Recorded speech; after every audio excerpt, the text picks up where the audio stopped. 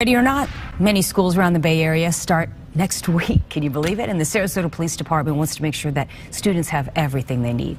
Fox 13's Justin Matthews shows us how they're packing the patrol car.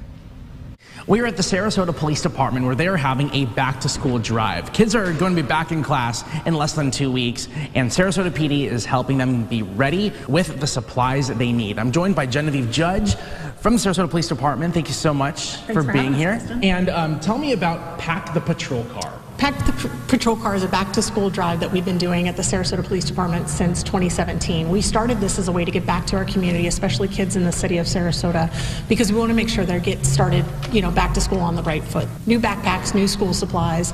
And so we've had this drive, but this year we've even upped it a little bit more. So if folks aren't able to drop off here at headquarters, we've also partnered with Core SRQ on Euclid Avenue in Sarasota, and we've also done an online option for the first time this year. So we've created an Amazon wish list which folks can go on, order things things through our wish list, and then it'll be delivered straight to headquarters so we can just pack the backpacks with it. That's awesome. School supplies are so expensive. I know families drop a lot of money getting their kids ready for school. Um, upstairs, we saw a lot of supplies that have been donated. Um, I saw a huge thing of backpacks and everything. Little uh, little bin right here. Kind of just walk me through what you what you guys have been getting um, in terms of donations. Absolutely. So in the bin here, you can see we've got pens and pencils and markers, notebook paper, notebooks, and this is just a, a taste of what we've been able to collect. But we're still hoping to give more donations between now and Wednesday. So we started back uh, the Patrol Car several weeks ago, and it's going to continue through this Wednesday. So if folks haven't had a chance to donate, they can do so through Wednesday, August 3rd at 6 o'clock here at headquarters or at Core SRQ, and then of course they can order online as well.